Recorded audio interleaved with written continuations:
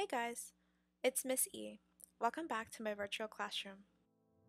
Today's art activity is based off Bob Ross and Peapod the Squirrel by Robb Pearlman.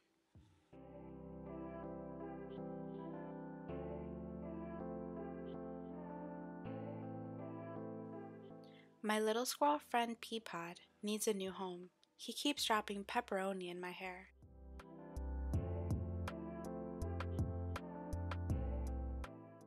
But we looked high and low and we can't find the right one. Wait, I have an idea.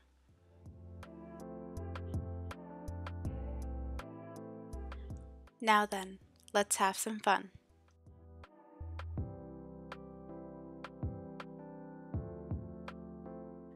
We'll use blue to paint the sky.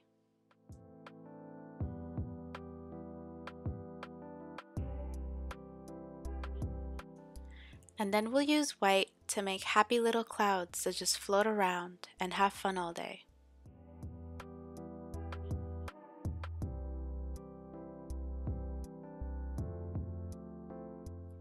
We can use a painting knife too, which is like a regular knife, but you use it to paint, not to make sandwiches. We use a knife to spread in a mix of blue and brown and crimson to make mountain tops.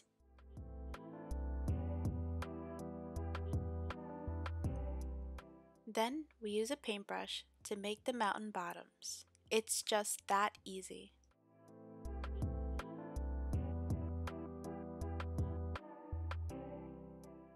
Peapod likes to ski, so let's add some snow for him. Oh no, there's nowhere for Peapod to go.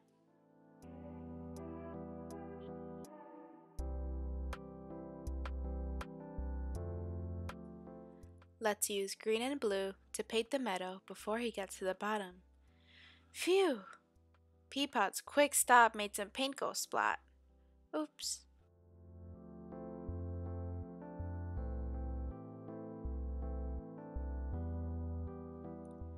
Well, that was a happy accident. Don't worry, Peapod. We can do whatever we like in our world.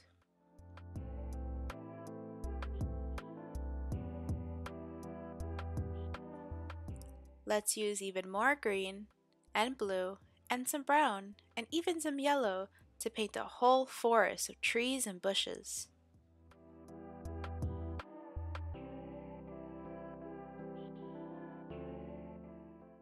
Here's your bravery test, Peapod. Add more blue. And now there's a pond. Isn't that fantastic? I knew you could do it.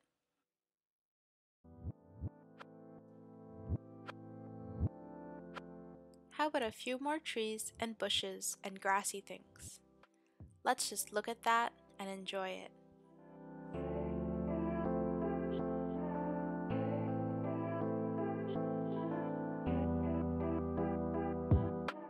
I think we're finished, don't you? Now this is a home for my little squirrel friend, Peapod.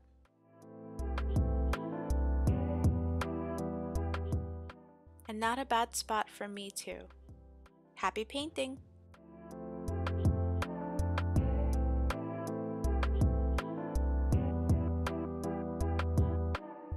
The end.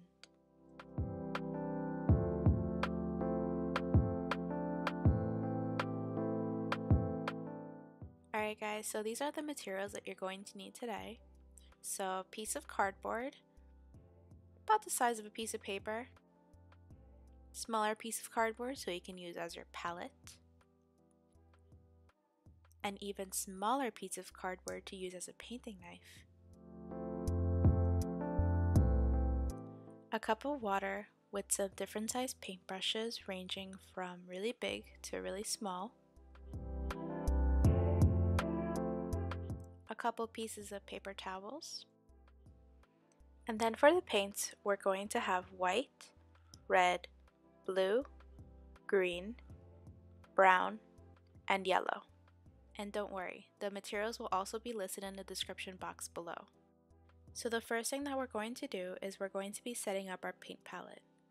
I'm going to put 3 drops of white, 2 drops of blue, you can put two drops of green, but I have two types of green, a light green and a dark green, so I'm putting one drop of each. One drop of yellow, two drops of brown, and one drop of red. For each paint drop, I like to put around a pea-sized amount of paint. If you need more, you can always squeeze out more paint.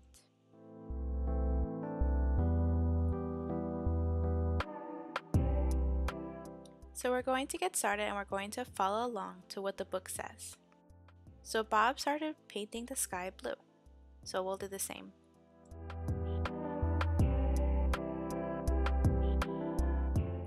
So to paint my sky, I'm going to take my biggest paintbrush, pat it down to make sure it's dry, and then I'm going to mix a little bit of blue and a little bit of white to make sure that my sky is many values of blue instead of just one solid blue color. Notice how I'm not completely mixing the blue drop or the white drop and I'm still leaving some blue and white left over. Now let's start painting our sky. I'm going to paint the top half of our cardboard with varying colors of blue until you can't see any of the brown from the cardboard behind it.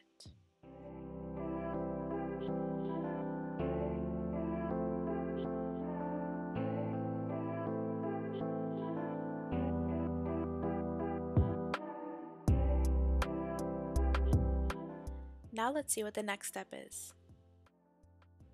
And then we'll just use white to make happy little clouds that just float around and have fun all day. So let's get started on that.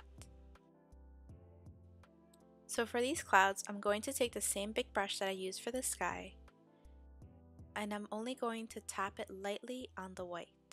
To make my clouds, I'm going to use that same tapping motion that I got the white onto my paintbrush, and I'm going to tap all over my sky.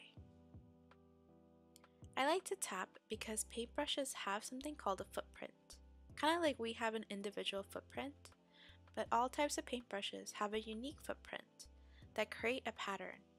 And when a pattern repeats itself, it creates a texture. If you want to see what your paintbrush's pattern looks like, test it out on a separate piece of paper or cardboard. And this is your landscape, so you can add as many or as little clouds as you like. And don't forget that the top of clouds are always a little bit lighter than the bottom of the clouds. So take a little bit extra white and pat it on the tops of the clouds to give it that extra highlight. Now we're going to return our paintbrush to the water and we're going to see what the next steps are.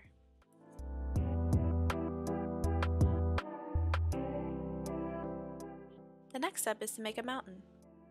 We could use a painting knife, which is like a regular knife, but you use it to paint, not to make sandwiches.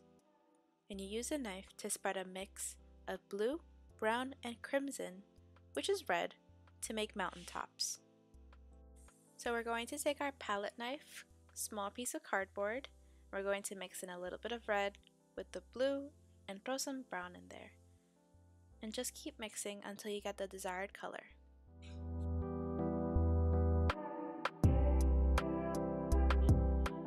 Once you have your desired color, you're going to take your palette knife and you're going to scoop up a little bit of the paint.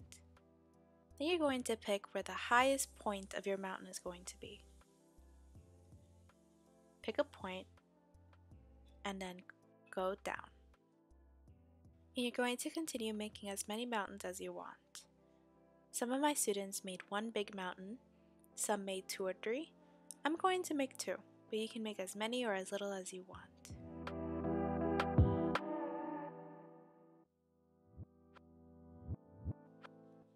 Then we're going to grab a smaller paintbrush and we're going to take some of that same color and blend in the mountains downwards.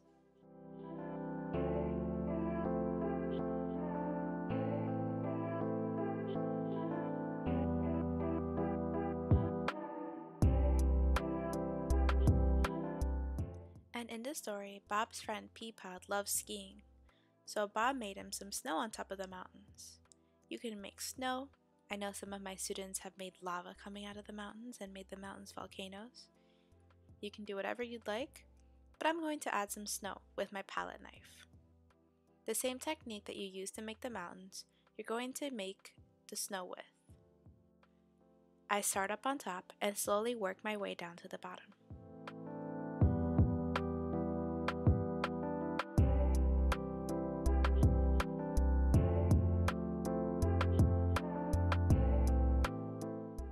Next thing that we're going to do is we're going to give the mountain bottoms a meadow. So you can take your green, or if you have two different greens like I do, you can take both greens. And the same way that you did the sky, using the paintbrush's footprint, you're going to do the grass. And I'm going to tap my grass into the hardboard until it's all filled up. To make it look more realistic, you can also throw in some white and brown.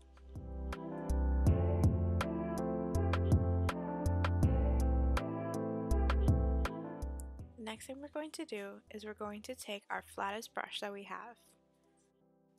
And as Bob says, we're going to be making happy little trees. So I'm taking a mixture of brown and green to start off with the trunks. And I'm just going to start off by painting one downward stroke with my flat side. And then with the other side of my paintbrush, I'm going to just quickly go back and forth and make the branches. Try to keep the paintbrush light and don't press down too hard.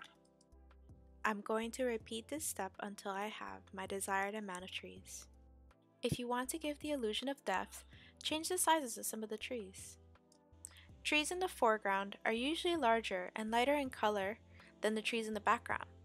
Given that, trees in the background are usually smaller and a little bit darker in color. Try out different techniques to make the leaves on your trees. Try using your paintbrush's footprint to make the texture of the leaves on your trees.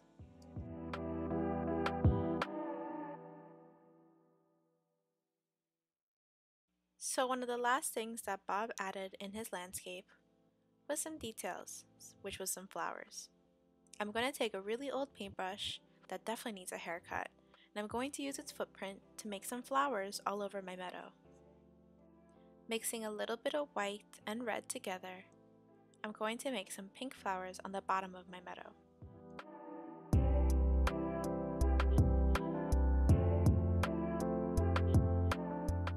And at this point you can add different colored flowers and add them all over the trees and all over your grass and make your own decisions here. Or you can follow mine, that's okay. I'm putting some yellow flowers in my trees, just using the footprint of my brush. Mixing them in with some of the pink flowers on the ground. And this last step is pretty important, so take the smallest, thinnest brush that you have and dip it in some white. And sign your work. And that's it guys, you are done.